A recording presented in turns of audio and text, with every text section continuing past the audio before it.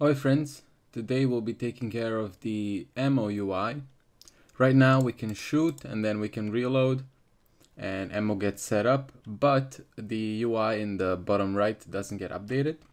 Should be quite easy to fix. So let's go to our weapon shooting and you can see whenever we reload or shoot uh, for a fact, we just, well when we shoot we do use ammo right here, but when we reload we actually don't use ammo we just add or decrease the primary current ammo. So first we have to change that. So whenever we actually use ammo we use this use ammo function because we're going to connect this to the UI and it's going to work quite nicely. Uh, we made use ammo last time or the time before I'm not sure. And it basically does the same thing but a bit better. So let's fix it in reloading. Let's go to reload. Let's go to our primary if statement and down here, whenever we say primary current ammo uh, plus equals ammo to reload and primary current ammo storage minus equals uh, ammo to reload, we can actually just say use ammo. And then we have to give it the slot, which is the slot uh, from the function condition right there. And then we also have to say how much current ammo we used. Now in this case, we did not use any ammo, so zero, or we did not use any ammo from the magazine but we did use the ammo from the current storage so we just have to say ammo to reload. Now we have a function for using ammo but we don't have one for adding ammo. Uh, we can actually delete this one the current ammo storage one. It should work the same but we will have to create a new one for add ammo. So I'll just collapse that real quickly and create a private void add ammo and we're going to set it up pretty much the same way. So int slot and then int current ammo added and then also also an int for current stored ammo added. And we're going to do pretty much the same thing as we did in the uh, use ammo. So I'll just go ahead and copy the use ammo function right there and then paste it in there. I'll just collapse the secondary statement and let's take care of this one first so whenever we say uh, if primary current ammo is less or equal than zero, we actually don't need this because now we're adding ammo and the check-in will happen elsewhere. And we can actually remove the else statement as well. So we'll just have these two lines.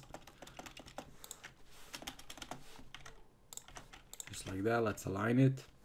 And whenever we say minus equals, we actually want to say plus equals because this time we're adding ammo.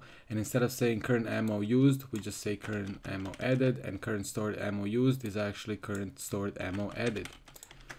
We basically want to do the same thing here. So let's delete the else and the if. And let's align these lines because I hate it when they're not aligned. Again, instead of just saying minus equals, we'll say plus equals. And instead of uh, just saying used, I'll say added. So now we can actually add ammo in here. And let's use that function in a reload. So whenever we reload, we add ammo into our primary current ammo uh, magazine here. Uh, so let's just go ahead and say uh, add ammo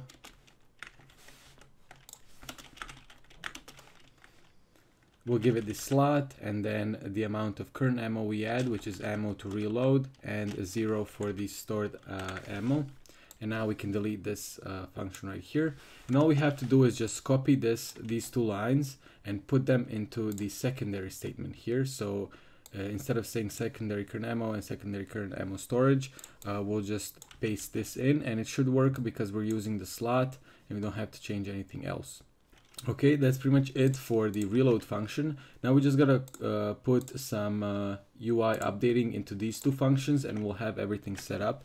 So let's go over to our player HUD and you can see we have a update weapon UI uh, thingy here which uses the weapon UI update info and if you go there you can see that it just updates the text and the sprite. Now we don't want to update the sprite each time we use ammo so we're to create a new public void update ammo UI and inside we're just going to take a int magazine size and a int for stored ammo. Just like that. Okay and we're pretty much gonna we can just copy and paste this uh, these two lines like that. So this is kind of the general function that we call whenever we uh, equip or swap a weapon and this is what we call whenever we shoot. Let's go to our player HUD and implement this update ammo UI. So I'll create a new public void for update uh, weapon ammo UI. And inside I'll need to give it a int for current ammo and a int for stored ammo. Just like that. And all I have to say now is weapon UI dot update ammo UI and inside again give it the current ammo from the um, from the uh, condition here and a uh, stored ammo from the condition as well. And now we can update them and we just have to call this function inside of our weapon shooting to update it. Let's go to weapon shooting and let's check if we have a reference to our player HUD, which we don't. So I'll just go ahead and say private player HUD, uh, HUD, and then I'll add it in there. Let's go down to our get references, which is called in our start method. We'll just say HUD equals get component and uh, we need to get the player HUD just like that. Now we have a reference to that. Uh, so we have a reference to our function. And all I have to do now is just add them in here. Below this else function, we, we where, where we set the actual ammo, uh, we'll just say uh, HUD.update uh, weapon ammo UI. And I want to add the update it with primary current ammo and primary uh, current ammo storage, just like that. And then I can copy this and put it in the same place down here and just instead of saying primary I'll say secondary and that should work fine. So hopefully you get the structure of this kind of makes sense if you think about it. Uh, let's do the same thing for add ammo. So whenever we say primary current ammo storage or whenever we you know add or add to it, uh, I just have to say HUD dot update a weapon ammo UI and then I'll give it the primary current ammo and I'll give it the primary current ammo storage. Let's copy that again and just paste it into here. Oh, my bad. And I'll say secondary here, secondary, just like that. And that should now work with our UI. Let's check out how that works. Let's take our pistol out and let's start shooting. So you can see whenever I shoot, ammo goes down. If I reload, everything changes nicely. That's pretty much it for this episode, I think. Uh, finally works nicely.